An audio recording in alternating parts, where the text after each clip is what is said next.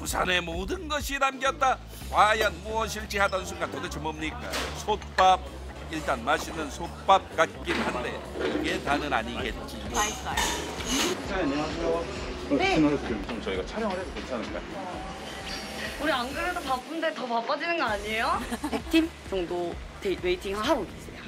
점심시간에만 무려 100팀이 waiting한다는 이곳의 첫 번째 메뉴는 바로 솥밥인데요. 이 솥밥 일반 솥밥 아니죠. 그렇죠? 문어로 이제 육수를 내는 거죠. 따로 밥을 짓는 거예요. 문어로 육수를 낸 후 밥을 지어 밥의 감칠맛을 극대화했다는데요. 거기에 신선하고 맛 좋은 가리비, 문어, 전복, 돼지갈비를 넣어 사종 솥밥을 만든다고 합니다. 엄청 화려하네요. 마성의 맛으로 사람들을 홀린 뒤 흡입하게 만드는 이곳 솥밥. 하지만 이곳의 진짜 시그니처 메뉴는 따로 있다고요? 현기증 나니까 빨리 알려주어요.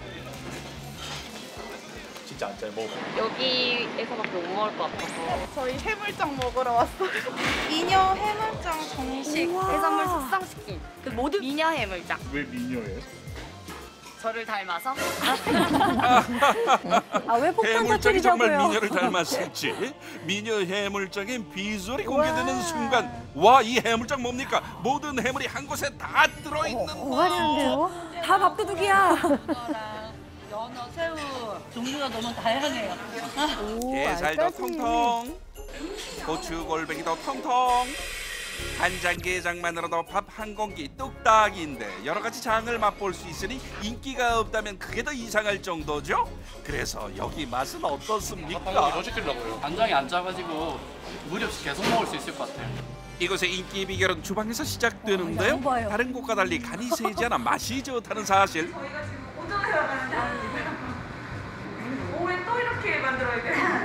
그 물량만 하루에 3천인분. 주방에서 열심히 만들어도 모자란 양이라는데요. 남녀노소가 반한 양념장의 비결은 가장 먼저 싱싱한 재료에서부터 시작됩니다. 신선한 재료와 제일 중요한 게 있다고요. 그게 뭘까요?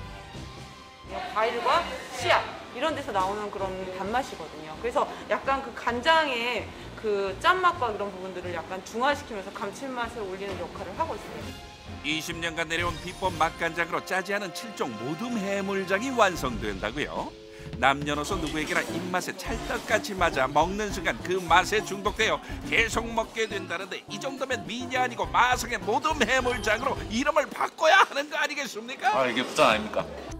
여러 가지 해물장을 맛볼 수 있지만 혼자 먹기에는 부담스러운 양이라는 점 참고하소서.